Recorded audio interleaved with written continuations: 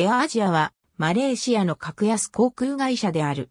多くのグループ企業を抱える世界屈指の規模の LCC である。クアラルンプール国際空港を拠点に路線網を構築している。2014年には大規模な LCC 専用ターミナル、クレア2が開業した。手荷物の受託は有料で5リンギットである。機内清掃の簡素化を図るため、座席は革張りである。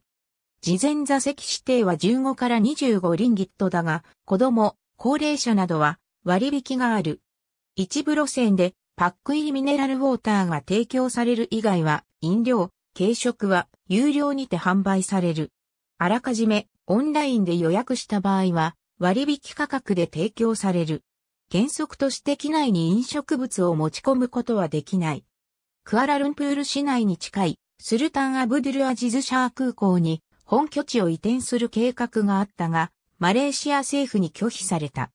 設立当初はマレーシア政府系重工業会社、ディビジョンラップバトル、ハイコム参加の企業だったが、後に業績は低迷し、経営破綻状態になる。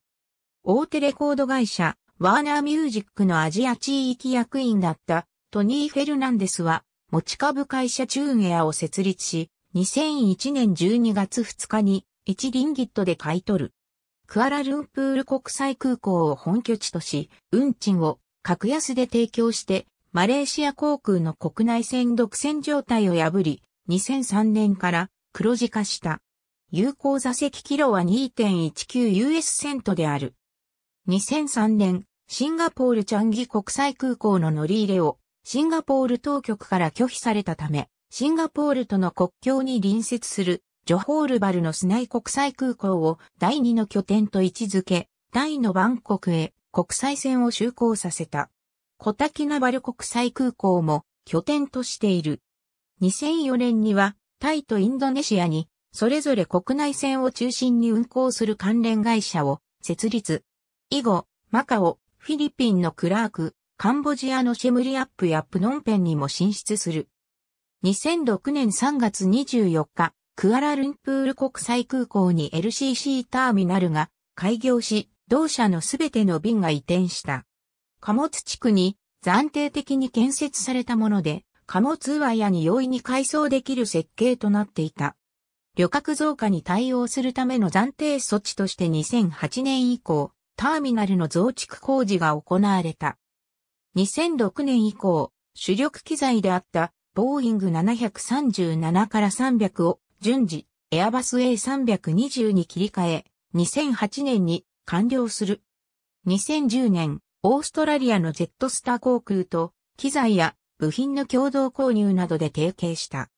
2009年までウィリアムズ F1 の公式スポンサーでもあったが、2010年よりトニー・フェルナンデス CEO 自らが代表を務めるロータスレーシングが参入した。2011年5月3日以降の予約についてはサーチャージを徴収していた。2014年5月、クアラルンプール国際空港に新しい LCC ターミナル、クレア2が開業した。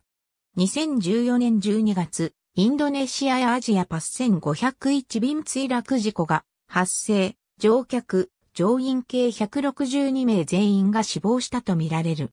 2015年1月26日以降、燃油サーチャージは不要となった。2016年8月、リオデジャネイロ五輪で金メダルを獲得したアセアイ県内の選手は生涯搭乗券を無料にすると発表した。銀、銅メダルの選手も5年間、2年間と無料になると発表し、ジョセフ・スクーリング選手ら6名が対象となった。2019年現在2014年1月現在。ありがとうございます。